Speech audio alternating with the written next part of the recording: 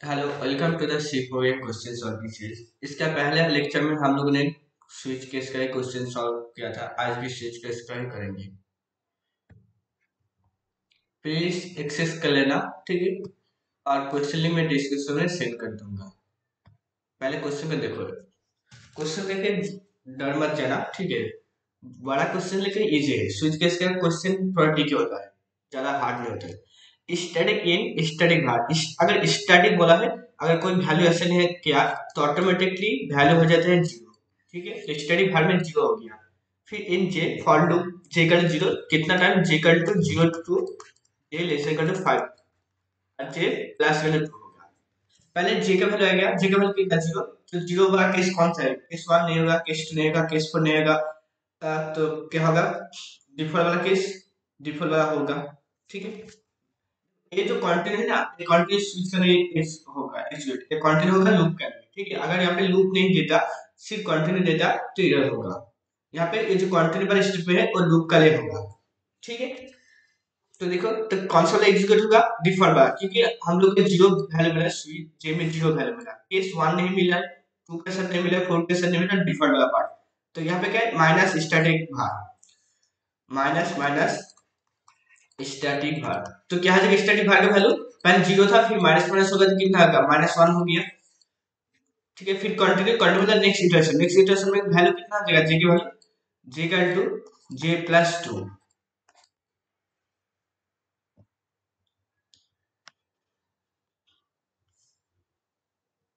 ठीक है जे plus two कितना हो गया? थ्री हो गया। यहाँ पे प्लस वन होना चाहिए था। प्लस वन होना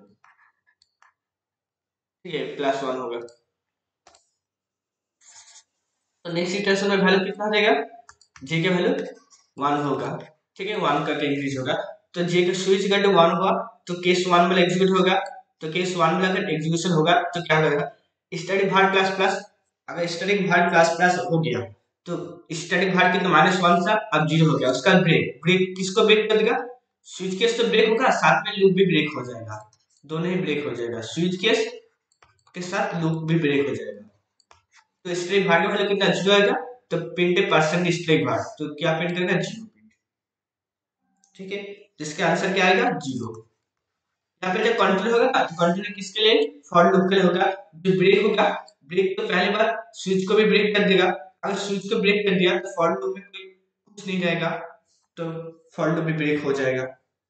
ठीक है?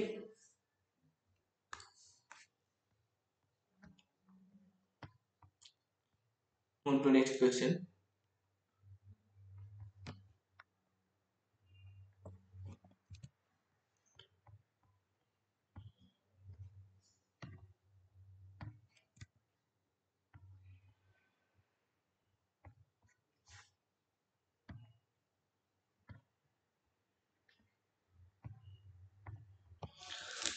किसका आंसर कमेंट में बताना?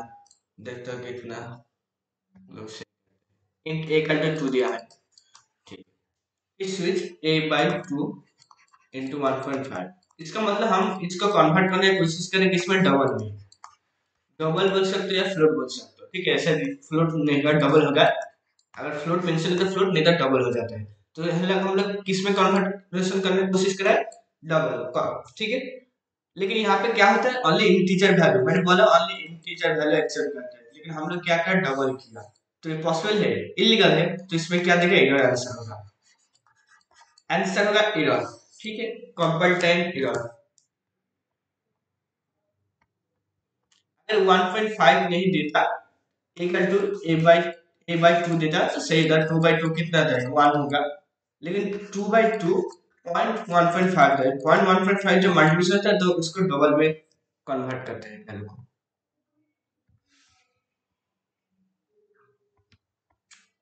तो इसका करके दिखाओ।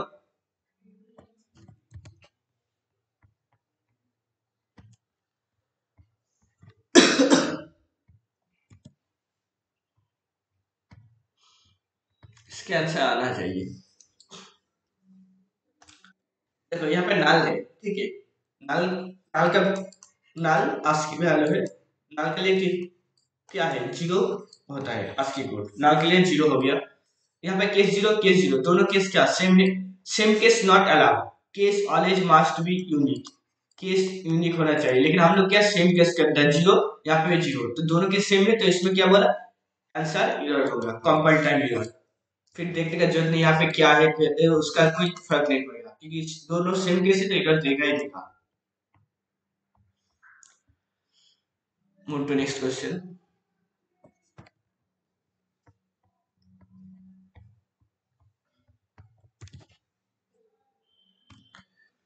एक लाख टेन है स्विच में टेन हो गया टेन कोई भी केस है नहीं है तो कुछ एग्जीक्यूशन नहीं होगा तो प्रिंट कर देगा print this is C program option है तुम केस दे सकते हो अभी नहीं भी दे सकते केस डिफ़ॉल्ट कोई केस नहीं है तो कोई एग्जीक्यूशन नहीं होगा कुछ भी तो स्विच ए, लिख, ए लिखो ना लिखो यूजलेस है।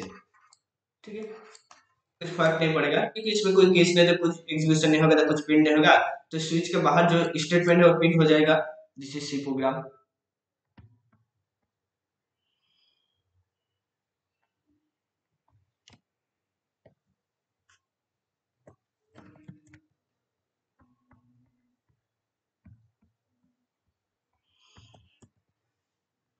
On this question. ये बहुत इजी क्वेश्चन है। आना चाहिए क्वेश्चन देखो ए निकल टू फाइव बड़ा। वन पॉइंट फाइव ठीक है आई कट टू सिक्स ठीक है? आई कट टू कितना बोला? सिक्स बोला। तो सिक्स को फाइंड करेगा फाइव ठीक है प्लस वन पॉइंट फाइव कितना आता है? फाइव पॉइंट फाइव हमेशा फ्लोट लेगा, ठीक है? अगर ऐसे तुम एडिशन करोगे, कोई इंटीजर कुछ मेंशन नहीं है तो फ्लोट लेगा। फ्लोट बोल सकते यहाँ पे डबल लेगा, ठीक है? डबल डाटा टाइप तो अगर डबल लेगा तो एलो है डबल एलो नहीं है। तो इसमें क्या एलो है? ओनली इंटीजर वैल्यू और कांस्टेंट बोल सकते हो है। लेकिन ये एलो नहीं है तो इसमें क्या कर देगा इधर देगा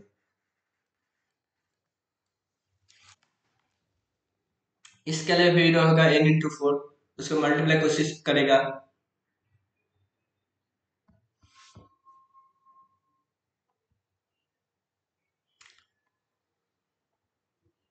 स्विच केस का क्वेश्चन इजी होता है, लेकिन ट्रिकी होता है, ज़्यादा हार्ड नहीं होता है। एक बात समझ लेना।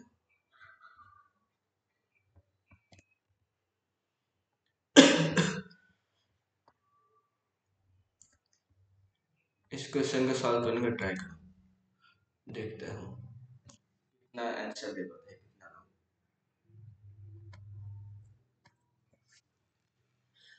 देखो, ये पा इसको देख के कभी हीरो मत बोल देना, ठीक है? गलती से हीरो मत बोलना। थ्री प्लस थ्री कितना सिक्स एस सिक्स प्लस, ठीक है, आई, उसका लाभ ठीक है, उसका A B C D A B C ऐसे दिया है, ठीक यहाँ पे देखो, कितना six character one two three four five six six के बाद कौन सा कैरेक्टर है? ए कैरेक्टर तो ए में मूव करेगा।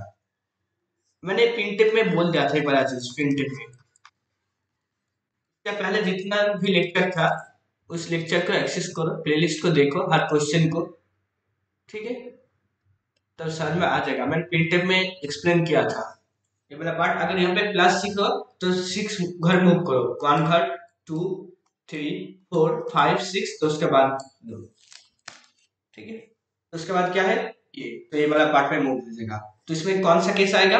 ए तो केस ए कितना है? पेल में तो रिपीट कर देगा उसके बाद क्या ब्रेक ब्रेक के क्या करेगा टर्मिनेट कर देगा लूप स्विच को खत्म कर देगा।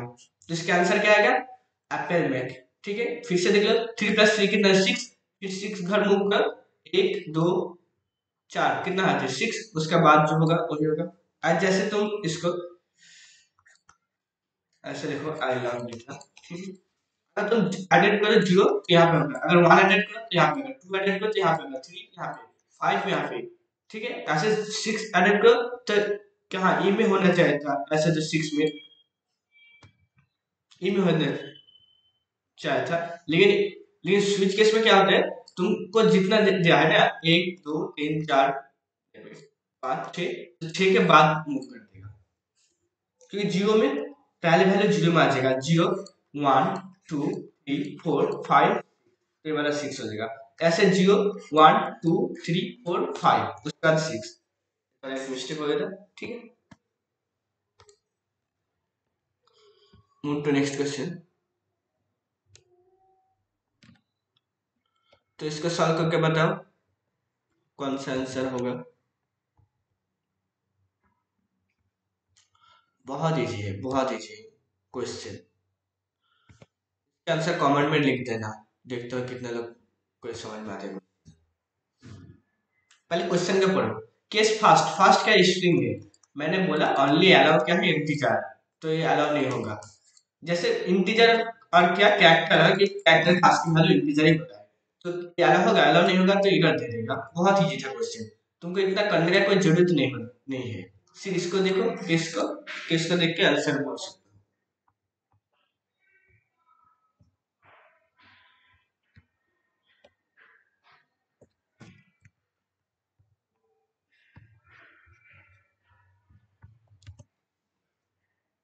ये भी क्वेश्चन बहुत इजी है देख ट्रू का टू वन डिफाइन करा तो स्विच का टू वन तो देख स्विच के अंदर कोई केस है? मैंने बोला स्विच के अंदर कौन सा वाला पार्ट एग्जीक्यूट होगा? केस वाला पार्ट और डिफर वाला पार्ट उसके अलावा कोई भी चीज़ होगा तो एग्जीक्यूट नहीं होगा. Out of this block case block and default block कोई पार्ट एग्जीक्यूशन नहीं होगा. तो प्रिंटेड वाला हेलो एग्जीक्यूशन होगा? नहीं होगा. लेकिन ये तो ट्रू है. वन होगा, लेकिन एग्जीक्यूशन है तो प्रिंट आंसर का प्रिंट ना इसमें कोई प्रिंट नहीं करेगा. ठीक है? क्यों? देखो पहले भी बोलते हैं केस का अंदर जो ब्लॉक है, और डिफर का जो अंदर जो ब्लॉक होगा, वही बड़ा पार्ट एग्जिट करेगा। आउट ऑफ़ दिस ब्लॉक कोई भी कोड तुम यहाँ पे लिखो, कोई भी चीज़ एग्जीक्यूशन नहीं होगा।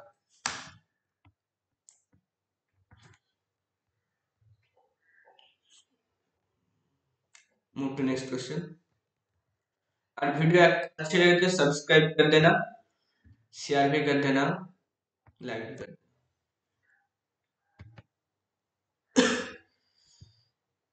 इसके देखो। कमेंट में लिख देना किसको कितना आ रहे हैं टोटल क्वेश्चन जितना होगा, कितना पॉइंट मिले हर क्वेश्चन के लिए पॉइंट वन है, ठीक है? अगर टेन क्वेश्चन होगा तो जितना मैं फाइव आया तो लिख देना फाइव आउट ऑफ़ टेन जितना क्वेश्चन है, ठीक है? कितना पॉइंट मिला देखूँगा किसको कितना पॉइंट मिला है? पहले देखो float in x float y के सेवन पर एक्स इक्वल टू यहाँ पे असाइन करो y plus one y plus one मतलब कितना seven point zero plus one कितना हो जाएगा? एट पॉइंट ज़ीरो लेकिन एक्स का है इंटीजर तो इसमें क्या था? एक्स इक्वल टू एट ठीक है? फिर स्विच में क्या? एक्स का वैल्यू आ जाएगा, कितना एट तो एट किस एट यहाँ पे है तो प्रिंटिव इट इज़ एट फिर ब्रेक कर देगा। तो इसका आंसर क्या होगा? प्रिंटिव इट इज़ एट फिर ब्रेक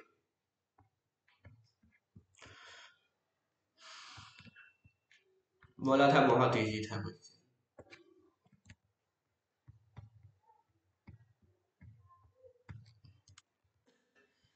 ये वाला थोड़ा कंफ्यूजिंग क्वेश्चन है।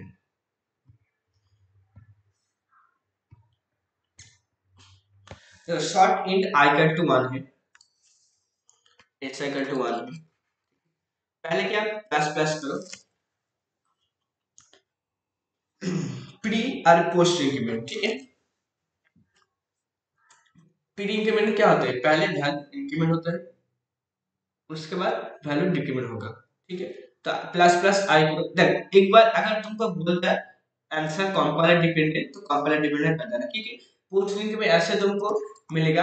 पोस्ट लिंक में एन ज़्यादा होता है पी से। पोस्ट लिंक में उसका शायद लेफ़्ट टू राइट होता है ठीक है, इसका राइट टू लेफ़्ट होता है, ऐसा होता है। और कहीं पे कहीं पे तुम सर्च करो तो मिलेगा पोस्ट लिंक में ज़्यादा है, लेकिन इसका लेफ़्ट टू राइट है कहीं पे मिलेगा तुमको दोनों के और पार्टी सेम है। बहुत कंफ्यूजिंग चीज़ है ये वाला पार्ट में। तो मैंने इसका भी क्वेश्चन सॉल्व किया था, कैसे सॉल्व कर लिया ठीक है। प्लेलिस्ट का लिंक मैं डिस्क्रिप्शन में दे दूँगा, देख लेना। इसको देखो plus plus I s I करो प्लस प्लस एस आई में क्या होगा? पहले वैल्यू इंक्रीमेंट होगा, फिर ऐसे होगा। टू हो गया वन था minus s I plus plus में क्या था? पहले वैल्यू ऐसे तो इसमें एस आई का वैल्यू कितना है? टू फिर टू ऐसे फिर एस आई का वैल्यू इंक्रीमेंट करके कितना जाएगा? थ्री बचेगा टू माइनस टू कितना आ जाएगा? बोलो ज़ीरो होगा। केस वन मिल रहा है नहीं, केस टू मिल रहा है नहीं तो एल के बारे में बोला था एल का मतलब लॉन्ग लॉन्ग लॉन्ग इंटीजर ठीक है? फिर क्या? डिफ़ॉल्ट बोला जाएगा तो क्या प्रिंट करके हम बाहर प्रिंट कर देंगे अगर अगर कहीं पे भी ऐसे होते हैं इंक्रीमेंट ज़्यादा होता है प्रायोरिटी किससे? ठीक है? तो पहले पोस्ट इंक्रीमेंट के पोस्ट क्या होते हैं? पहले वैल्यू असाइन होगा। तो कितना वन असाइन उसका इंक्रीमेंट होगा इंक्रीमेंट होगा, इसका वैल्यू कितना हो जाएगा? आई का वैल्यू एस का वैल्यू टू हो जाएगा। फिर यहाँ पे क्या पहले वैल्यू इंक्रीमेंट तो यहाँ पे थ्री माइनस टू हो जाएगा। फिर इंक्रीमेंट करेगा। तो एच टू होना चाहिए इसके आंसर से। इसलिए बोला था क्या कॉम्पाइलर डिफरेंट होता है? बहुत सारा कॉम्पाइलर बहुत सारा होता है। ठीक है? तो इसके आंसर ऐसे, अगर ऐसे दे स्विच में तो ये वाला पार्ट करना। सबसे ज़्यादा कंफ्यूजन इसमें होता है।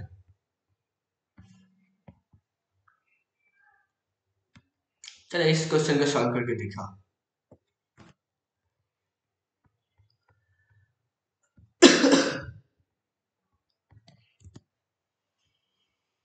कितना का आता है, पता चल जाएगा।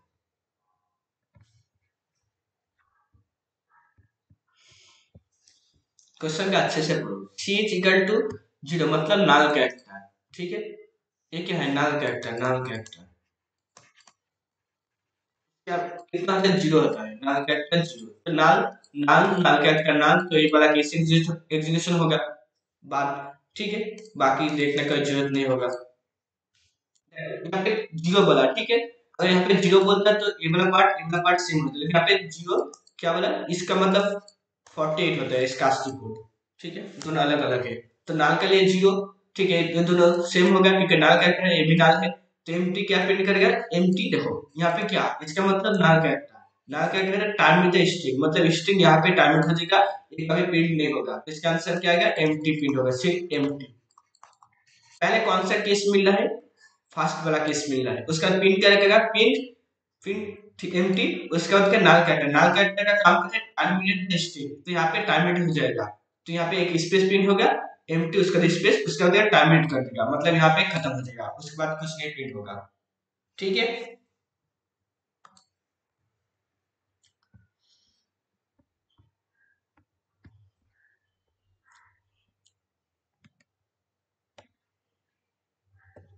लेक्चर थोड़ा लेंदी हो सकता है, बीस मिनट ट्वेंटी मिनट हो सकता है। बात नहीं। क्वेश्चन तो देखो सॉल्व करना, कैसे करना।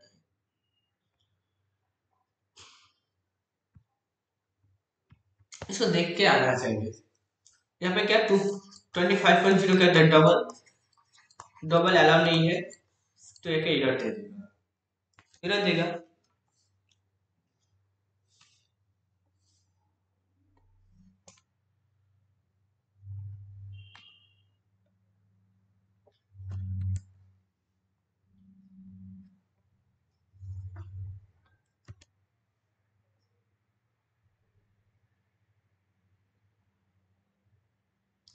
Okay, solve this question. Video का पॉज कर करके पॉज करो, फिर देखो इस क्वेश्चन को सॉल्व करने ट्राई करो। क्वेश्चन लिंक मैं डिस्क्रिप्शन में दे दूँगा।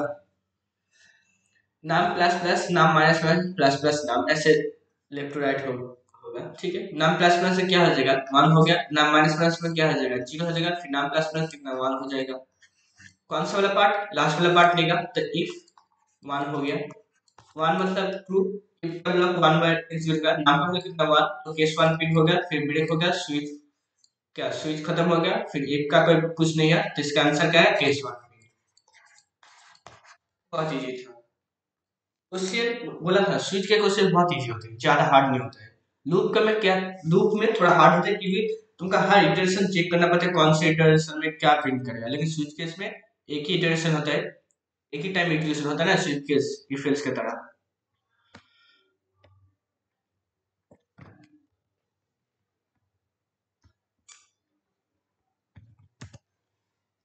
ये क्वेश्चन बहुत इजी क्वेश्चन है। देखो नाम प्लस प्लस एक पोस्ट इंक्रीमेंट पोस्ट इंक्रीमेंट क्या है पहले वैल्यू असाइन होगा, फिर इंक्रीमेंट होगा। तो असाइन होगा फाइव टू फाइव अगले फाइव ये टू है तो इसका मतलब वन आ जाएगा। तो स्विच का स्विच में एक कौन सा वैल्यू आ जाएगा वन तो वन केस वन ट्रू उसका ब्रेक तो इसका आंसर आंसर क्या आएगा? ट्रू प्रिंट करेगा। ठीक है? तो उसका ब्रेक हो जाएगा स्विच को टर्मिनेट कर देगा। तो इसका आंसर ट्रू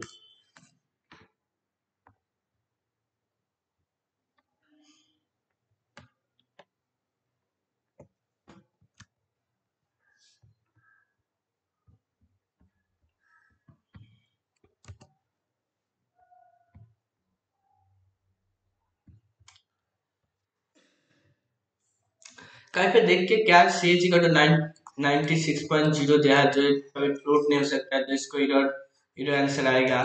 ये मत समझना, ठीक है?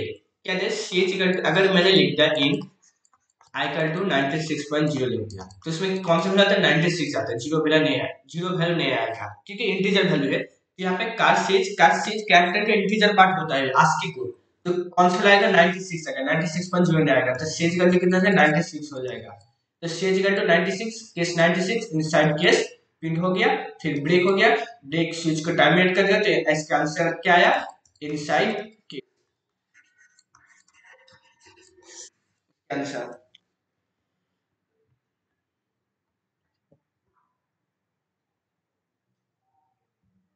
last question next lecture हम लोग फ़ंक्शन का सॉल्व करेंगे या पॉइंटर का या एरे का, ठीक है? स्विच केस का हो गया?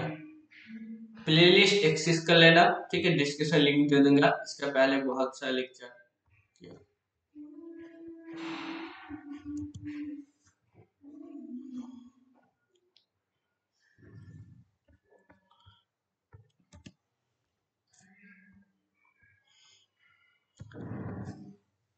जब यहाँ पे क्या लॉजिकल और बिटवाइज और बिटवाइज बोला तो क्या?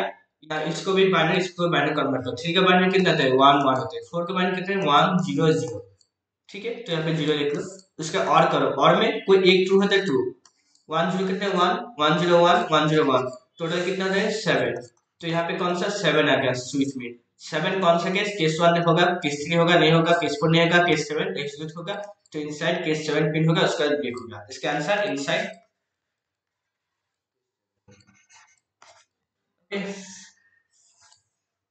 thanks for watching.